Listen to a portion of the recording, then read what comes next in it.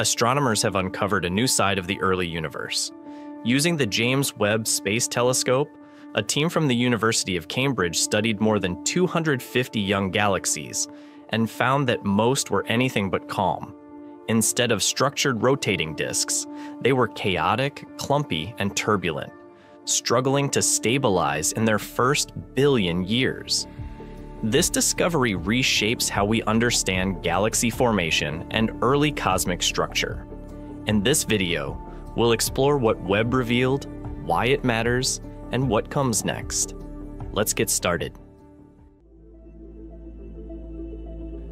To grasp the impact of this discovery, we need to look at what was observed. Roughly 800 million to 1.5 billion years after the Big Bang, galaxies were still in their formative stages. For years, scientists debated whether they settled into rotating disks quickly or developed through a longer, more chaotic process. The Cambridge team used JWST's NIRCam instrument in GRISM mode to analyze more than 250 galaxies from this early period. This mode allowed them to capture faint light from ionized hydrogen and track how gas moves inside each galaxy. It was a large scale look at galactic dynamics that previous telescopes couldn't deliver. The results were striking. Most galaxies didn't show the smooth rotation we associate with mature systems like the Milky Way. Instead, their gas moved in multiple directions, forming turbulent and irregular structures. Only a small fraction showed early signs of rotation, this is a major shift from earlier studies, which focused on a handful of bright, massive galaxies and gave the impression that ordered disks were common at early times. Those objects were the exceptions. The new broader sample reveals that the typical early galaxy was messy and unstable. As lead author Lola Danhaive put it, we don't just see a few spectacular outliers. We looked at an entire population and most are still chaotic, with gas puffed up and moving in all directions. This is the clearest statistical view we've had of early galactic behavior. It shows that the universe in its first billion years wasn't made up of elegant spirals. It was dominated by dynamic, turbulent systems still trying to settle.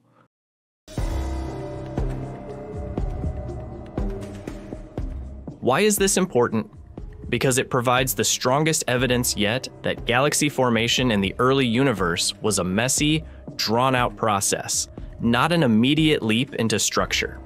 For decades, theoretical models predicted that early galaxies should be unstable, full of gas, and prone to turbulence.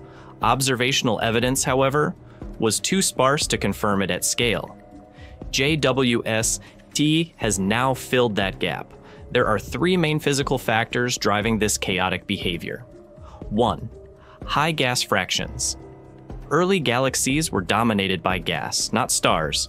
Gas rich systems are easily stirred by disturbances, leading to irregular flows and clumpy structures rather than well ordered disks. 2. Frequent mergers and bursts of star formation. In the young universe, collisions between galaxies were common, each merger injected energy, disrupted developing structure, and triggered rapid star formation. That feedback amplified the turbulence. Third, gradual disk formation. Only a few galaxies showed signs of rotation. This supports a scenario where stable disks form gradually over time. As galaxies grow in mass, their gas cools, and interactions lessen. Co author Sandro Tacchella highlighted that previous work looked at individual standout galaxies, which painted a skewed picture. Examining hundreds of lower mass systems provides a far more realistic view of how galaxies actually behaved during this era. This discovery also bridges two pivotal epochs in cosmic history the epoch of reionization, when the first galaxies illuminated the universe, and cosmic noon, when star formation peaked. These turbulent galaxies represent the transition phase between those periods, the point when structure was forming but not yet stable. Rather than revising theory, Webb's observations confirm it with unprecedented clarity. Most galaxies weren't born settled. They grew into order through chaos.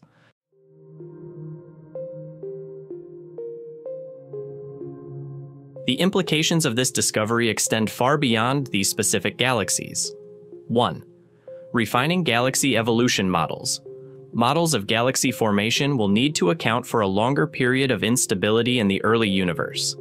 The idea that early galaxies quickly spun into orderly disks doesn't hold up statistically.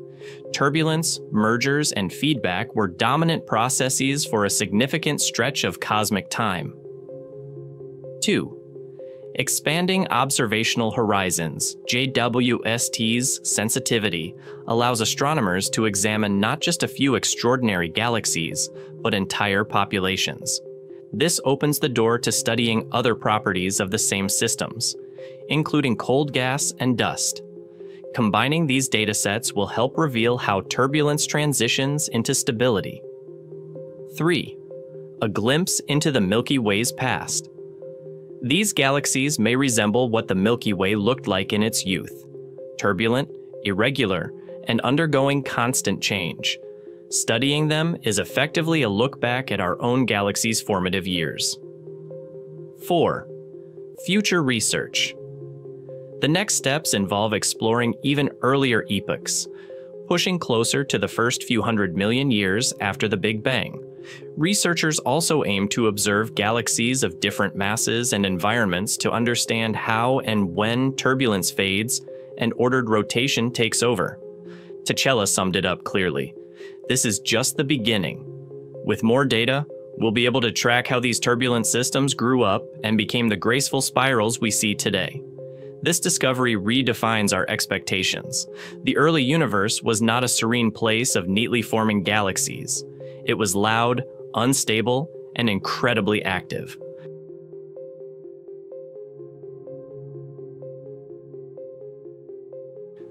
The James Webb Space Telescope shows early galaxies were chaotic, not orderly. This confirms that cosmic structure emerged slowly through turbulence and change. It's a glimpse of how galaxies like ours grew from chaos into order.